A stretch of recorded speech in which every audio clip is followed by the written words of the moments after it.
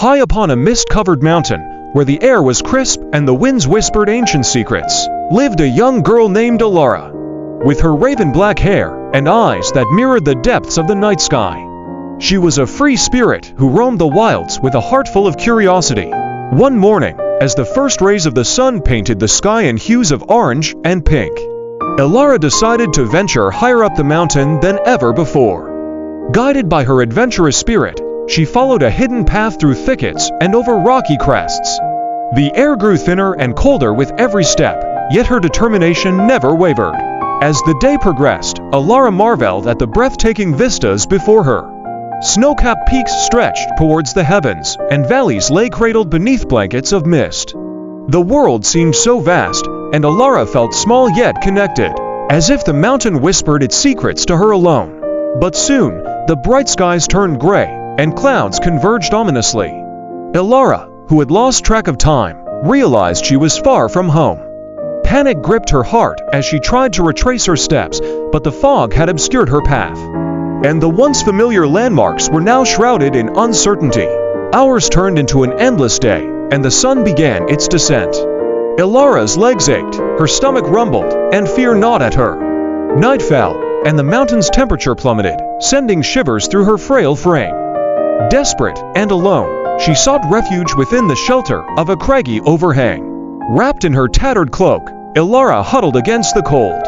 Listening to the eerie sounds of the night, the whispering winds, the distant howls of unseen creatures, and the rustling of leaves that carried tales of their own. She clung to memories of her family, to the warmth of their hearth and the laughter that filled their humble home. With the dawn came a renewed determination. Ilara knew she had to find her way back, no matter the obstacles. Armed with resolve, she began to explore the terrain once more, methodically searching for any sign of the path she had lost. Days blurred into one another as she navigated treacherous terrain, her senses heightened by necessity. She relied on instinct and observation, learning to read the mountain's subtle cues. A moss-covered rock, the angle of the sun, the direction of the wind. She realized that in her solitude, she had become attuned to the very heart of the mountain itself. During her trials, Ilara discovered hidden springs, each one a testament to life's resilience, even in the harshest conditions. She befriended a fox whose clever eyes held a shared understanding of survival. And together they braved storms and traversed unforgiving heights. The fox's presence became a reassuring constant, a source of companionship in her solitude.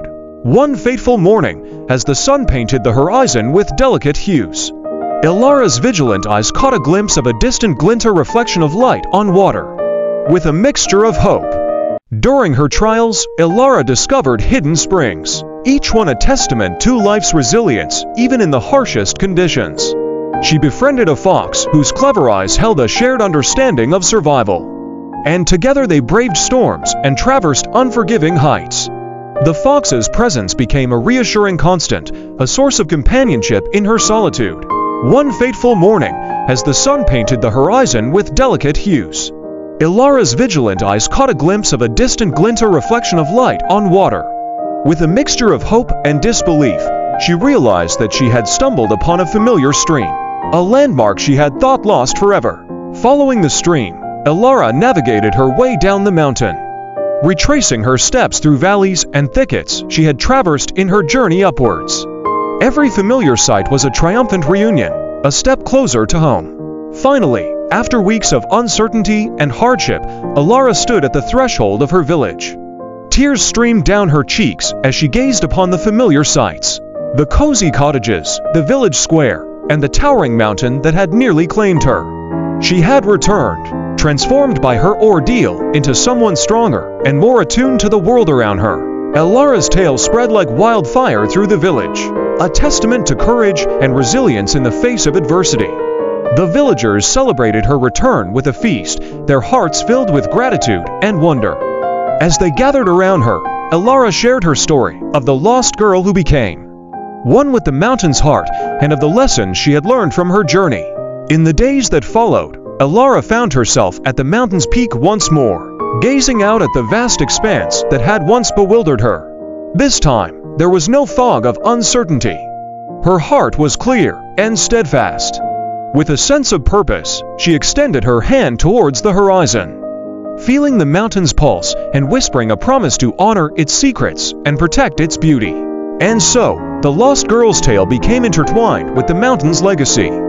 A story of discovery, courage, and the unbreakable bond between a determined spirit and the land that had tested her. Ilara, once a wanderer seeking her path, had found it in the most unexpected of places, within herself and atop the echoes of the mountain's heart. Echoes of the Mountain's Heart is a tale about a young girl named Ilara, who gets lost on a mist-covered mountain. Guided by her adventurous spirit, she goes deeper into the mountain, only to lose her way. She endures days of uncertainty and hardship, learning to survive by paying attention to the mountain's cues and befriending a fox. Through determination, she rediscovers her path, returns to her village, and shares her story of courage and resilience. Ilara's bond with the mountain grows stronger, and she promises to protect its beauty.